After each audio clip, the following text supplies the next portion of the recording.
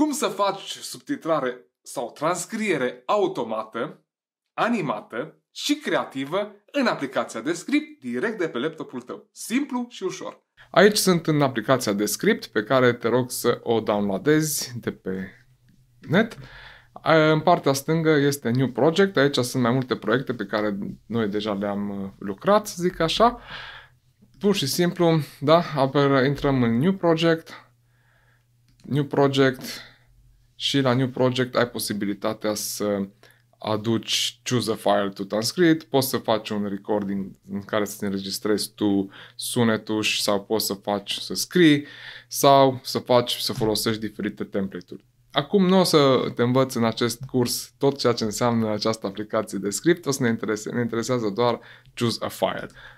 Uh, pur și simplu, choose a file, alegi video pe care dorești să-l uh, subtitrezi, în cazul nostru este cum sunetul, apăsăm open, după care acesta pur și simplu ne apare aici. Uh, aici se poate alege limba, în cazul nostru este română, am pus always ca să se știe, pentru că majoritatea videolor pe care le subtitrăm sunt în limba română în momentul ăsta, după care aici mai apăsăm un don, ne zice că va fi gata în câteva minute, poți să pui speaker name, de exemplu aici Daniel, dar nu este obligatoriu, acest lucru se întâmplă și fără să pui numele uh, speakerului, vorbitorului. După cum vezi, în câteva minute, video este subtitrat. Bineînțeles, dacă video este mai lung, va dura puțin mai mult. Acum, de, de în partea stângă aici apare textul. Și aici dacă apăsăm avem partea de video, frumos, și în partea de jos se poate vedea, dacă vrei poți să faci mai mare, se poate să vedea cum s-a împărțit, este timeline-ul să zic așa. Pentru să-mi pun și căștile pentru a auzi mai bine. Să zicem, ca orice, ca orice soft de subtitrare nu este 100% acurat, accurate, așa că trebuie întotdeauna verificat. Cum îmbunătățim sunetul dacă nu avem nici un. Aici, vedeți, trebuie să punem un, o pauză. Dar pentru a putea face textul mai rapid, ori apeși aici, da, și dacă apăsăm pe această iconiță, pur și simplu ne va transforma acest text să-l putem lucra ca și cum ar fi într-un Word document. Nici un, da? Nici un fel de gadget de înregistrat sunet, sunet. În primul rând, paf, dacă vrem să meargă pe rândul 2, apăsăm Enter și automat ne trece pe rândul 2. Aici vreau să mai pun un semnul întrebării. În primul rând, meargă pe rândul 2, folosim aplicația Podcast. Podcast. Vreau să pun cu caps lock, apăs caps.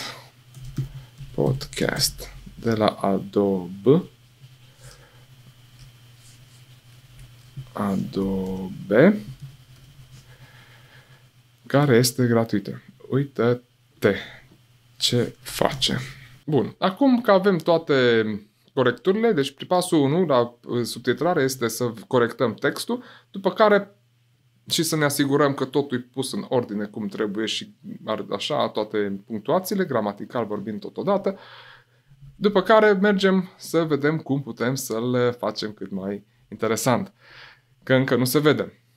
Aici putem da Ctrl A și dacă dăm right click, vedeți Insert, Insert. Și aici avem tot felul de chestii. Pe noi ne interesează caption. Da?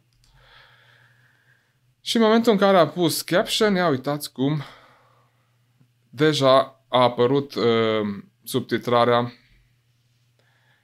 pe video, da? În cazul nostru, subtitrarea deja are niște setări făcute pentru că sunt uh, setările brandului nostru. Pentru a schimba setările, aici se poate schimba textul, fontul, dimensiunea fontului, aici culoarea fontului înainte sau după ce se citește, uh, după care la caption aici poți să, poți să schimbi efectele, uh, background-ul, apeși pe plus, dacă vrei background sau nu vrei background, dacă vrei border sau nu vrei border la, la text. Um, așa. Și la animații, cum, cum vrei să fie toate aceste lucruri. Ok. Și la caption, uite, la caption dacă apeși pe aceste trei linii, aici poți să schimbi cum vrei să se schimbe, dacă vrei să fie diferit, uh, de exemplu, partea de um, partea care, se, care, cuvântul care este citit. Vii înapoi, adaugi codul de culoare aici, Ctrl V și ia uite cum se schimbă automat. Dacă vrei să schimbi move dinainte, deci cu ceea ce se vede prima dată, schimbi de aici, apeși pur și simplu numai de culoare. Cam atât. După ce toate lucrurile acestea sunt gata și sunt stabilite, cel mai bine verifici odată. În momentul în care videoul nostru este gata, să apăsăm aici Publish. Uh, dacă vrei, poți să-l publici direct pe un uh, canal de socializare sau dai export. Aici alegi rezoluția.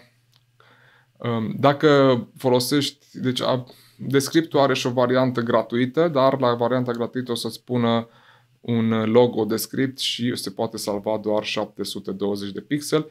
Pentru varianta plătită obții și 1080 de pixel și așa mai departe high quality la toate imaginile și un anumit număr de ore, nu mai știu exact. Noi avem varianta plătită, dacă ești interesat de aplicația de script, o să găsești în descriere un link care te va duce direct Eh, la softul lor, direct la pagina lor, de unde poți să-ți achiziționezi sau să încerci gratuit pentru început această aplicație care nouă ne s-a părut foarte creativă. Cam atât pentru azi. Îți doresc o zi multă, îți doresc o zi frumoasă și inspirată în fiecare zi. Dacă vrei mai multe detalii și vrei să încerci acest program, îl găsești în descriere.